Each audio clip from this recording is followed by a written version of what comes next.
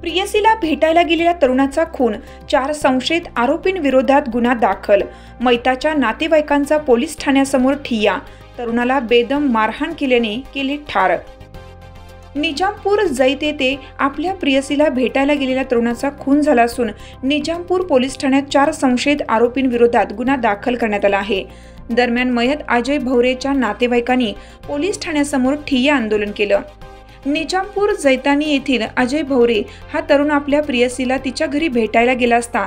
सदर प्रकार मुलीच्या घरच्या लोकांना लक्षात येताच त्याला विचारपूस केल्यानंतर अजय भवरे याला लाताबुक्क्यांनी व काठीने बेदम मारहाण केली.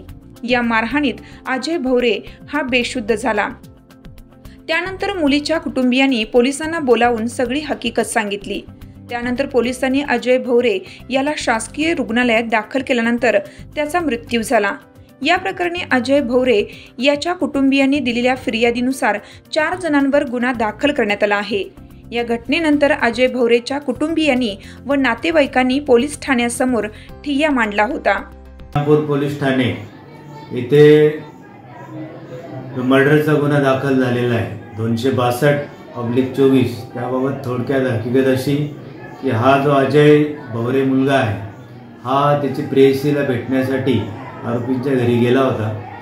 आणि जेव्हा त्या आरोपींच्या लक्षात आलं की हा हिला भेटायला आलेला आहे तर त्यांनी त्याला मारहाणीस सुरुवात केली. आणि बेदम मारहाणीमध्ये तो ज गंभीर जखमी झाला. त्यानंतर पोलिसांना माहिती मिळतात पोलिसांनी त्याला इथं प्राथमिक आरोग्य केंद्रात ॲडमिट केलं. इथल्या डॉक्टरनी सिव्हिलला पाठवलं. सिव्हिलला देखील पोलीस घेऊन गेले. आणि तिथे उपचार सुरू असतानाच तो आज वीस नऊ चोवीस रोजी सायंकाळी मयत झाला. तर सदरबाबत त्याचे वडील राजेंद्र भवरे यांच्या फिर्यादीवरून मर्डर तसेच ॲट्रॉसिटी कायद्याखाली सविस्तर गुन्हा दाखल करण्यात आलेला आहे. पुढील तपास करीत आहोत. माहेश्वरी शिसोदे धुळे जिल्हा प्रतिनिधी.